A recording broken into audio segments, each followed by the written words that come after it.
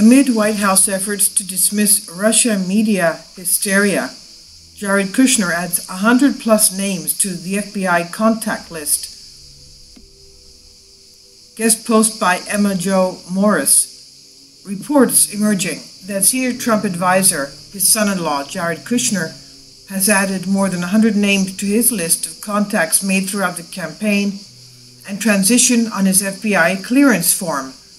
This news comes in the wake of the media firestorm surrounding Donald Trump Jr.'s meeting with Russian lawyer Natalia Veselnitskaya, which has dominated this week's news cycle. This move adds fuel to the media concocted fire that the Trump administration has been withholding information about Russian contacts. Since the April New York Times report that Jared Kushner failed to disclose his meeting with Russian banker and Putin confidant Sergei Gorkov, Kushner has updated his list of contacts submitted to the FBI three times, adding over 100 names, according to New Business Insider report. The Daily Mail reported earlier that Kushner kept a low profile at the Allen and Company conference in San, Sun Valley, which he and Ivanka attended today.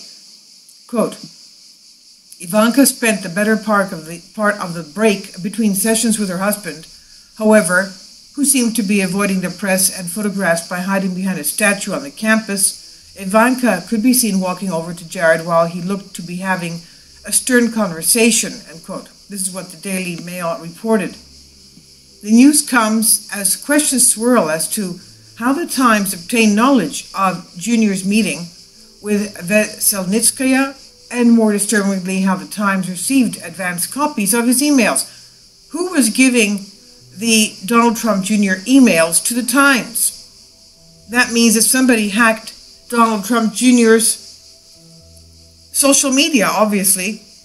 Trump confidant Roger Stone gave a lecture to a young Republicans gathering at the Capitol Hill Club earlier in the week. One participant pressed him on the identity of the leaker in this particular story to which he finally conceded the individual's initials are JK, according to the Independent Review Journal. There are three senior level staffers with these initials.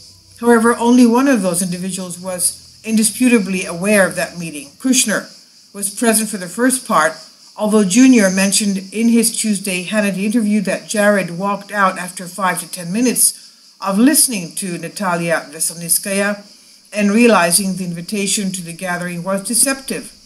Quote, Goldstone sort of goosed up, he built up, there was some puffery to the email, perhaps to get the meeting, to make it happen. In the end, there was probably some bait and switch about what it was really supposed to be about, end quote.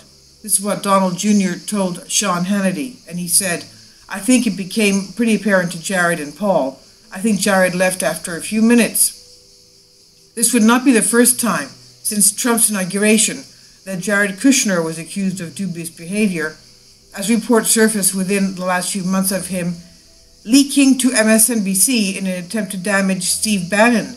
Kushner has included Natalia Veselnitskaya as one of a hundred other meeting details in his updated FBI list. Editor's note a few details in this story were not verifiable, including the validity of Stone's allegation, of course. This is a building story and it will be updated as new facts emerge. This is on the Gateway Pundit.